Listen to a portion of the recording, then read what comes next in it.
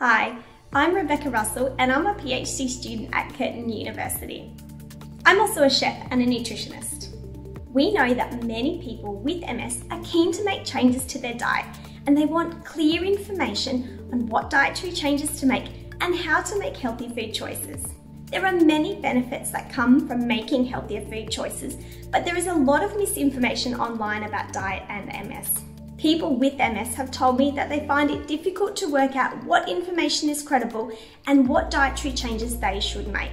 My current research involves engaging with people with MS and MS healthcare professionals to co-design a nutrition education program for people with MS.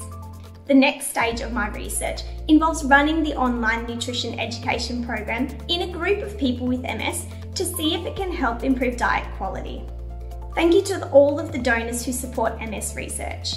Without them, the work that I am doing would not be possible. Thank you to all of the people with MS who have been involved in our research so far. Your insights and experiences have been invaluable and I am truly grateful for your contributions.